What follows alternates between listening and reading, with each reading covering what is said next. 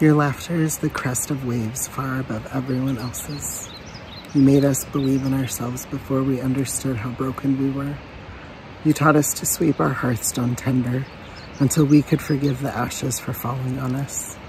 We used to take refuge at your house when we were young, playing with toys you kept special for us, a wellspring for our thirsty imagination. You taught us that editing is the blood of writing. You made us feel like kindred when our family strained the roof out of us.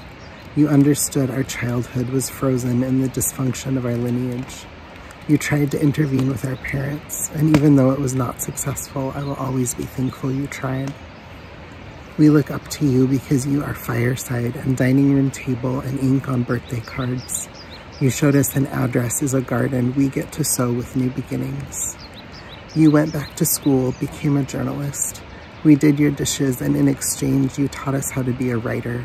You opened our future, crafted the possibilities of so many doorways. You taught us that evangelizing our friends was a dishonest way to make kinsfolk. You said to us, if there is a God, they are merciful, especially after death. You helped us become our own people. You've known us longer than anyone. You've always been precious, our affectionate family, like a wood stove in winter. Remember when Casey had a seizure? You and I rushed her to the vet. We were so close-knit and scared.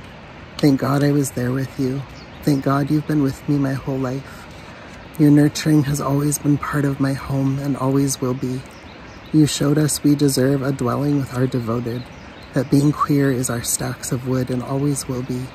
It will always keep us warm no matter the distance in our clan, that sharing our hearth is where it matters.